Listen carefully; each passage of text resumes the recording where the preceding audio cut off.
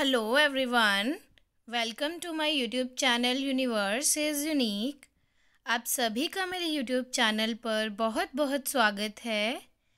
आज है Wednesday August thirty twenty twenty three English vocabulary series में word of the day is elucidate elucidate E L U C I D A T E elucidate elucidate का meaning होता है स्पष्ट करना, व्याख्या करना।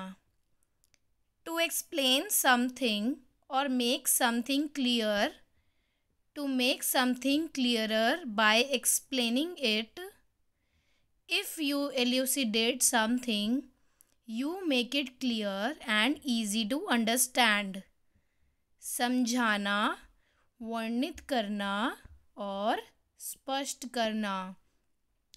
तो एल्यूसिडेट का मीनिंग होता है कि किसी भी चीज़ की स्पष्टता करना, व्याख्या करना ताकि उसे और भी इजी तरीके से समझा जा सके।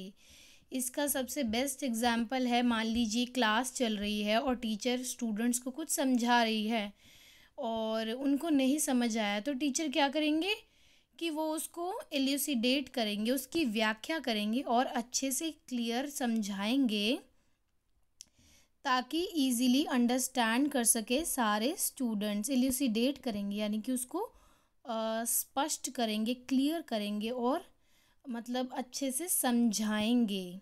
टू एक्सप्लेन समथिंग और मेक समथिंग क्लियर यानी कि उसको एक्सप्लेन करेंगे। एल्यूसिडेट का सिनोनिम्स भी होता है एक्सप्लेन करना, इसका बेसिकली मीनिंग यही है। क्लैरिफाई करना कि जो भी हम समझा रहे हैं, ये जो भी बात चल रही है, वो सामने वाले को क्लियर हो जाए, एकदम ईजीली समझ आ जाए। They can easy easily understand it so this is the meaning now we move on to synonyms and antonyms of the elucidate word so synonyms of elucidate are explain clarify illustrate simplify और decode तो ये सारे words हैं synonyms synonyms का meaning होता है similar meaning words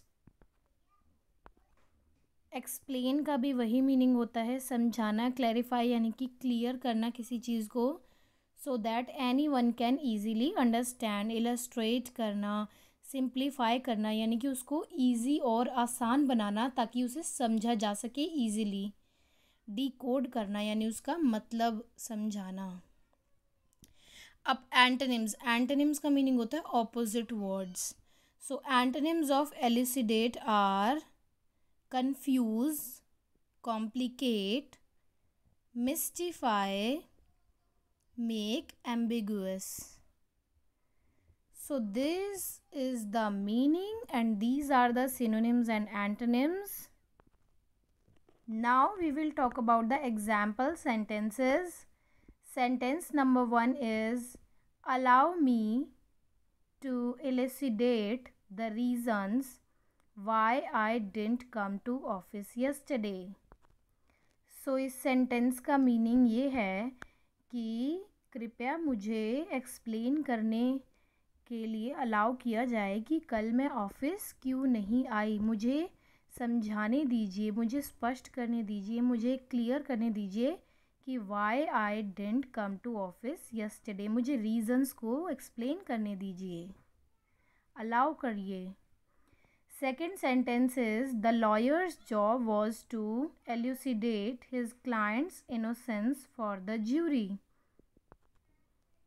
so lawyers का job क्या होता है कि अपने जो क्लाइंट है, उसकी इनोसेंस को, कि वो मुजरिम नहीं है, उसकी इनोसेंस को एल्यूसिडेट करना, उनको समझाना क्लियर करना एक्सप्लेन करना किसके लिए? फॉर द ज्यूरी जो कि डिसीज़न लेंगे कि पर्टिकुलर पर्सन क्रिमिनल है या नहीं है, उसने गलती की है या नहीं की है। तो लॉयर्स की क्या जॉब होती है? क्लाइंट्स की इनोसेंस को एल्यूसिडेट करना, समझाना, स्पष्ट करना क्लियर करना। Third sentence is The aim of the report is to elucidate the main points of the new regulations. So so, इस सेंटेंस का मीनिंग ये है कि जो रिपोर्ट थी उसका जो मेन उसका एम था वो था न्यू रेगुलेशंस के मेन पॉइंट्स को एल्यूसीडेट करना the aim of the report is to elucidate the main points of the new regulation यानी कि उस रिपोर्ट में न्यू रेगुलेशन होते हैं ना, रूल्स एंड रेगुलेशन किन चीज़ों पे रेगुलेशन लगानी है, नहीं, कैसे लगेगी? रूल्स एंड रेगुलेशंस होती हैं। तो उस रिपोर्ट का जो मेन एम था, वो था न्यू रेगुलेशंस को एल्यूसिडेट करना एक्सप्लेन करना क्लैरिफाई करना। So this is the whole description of English vocabulary word elucidate which means spasht karna, vyakya karna, to explain something or make something clear, to make something clearer by explaining it. And these are the synonyms and antonyms and example sentences. In order to learn daily English vocabulary, please subscribe to my channel. Universe is Unique.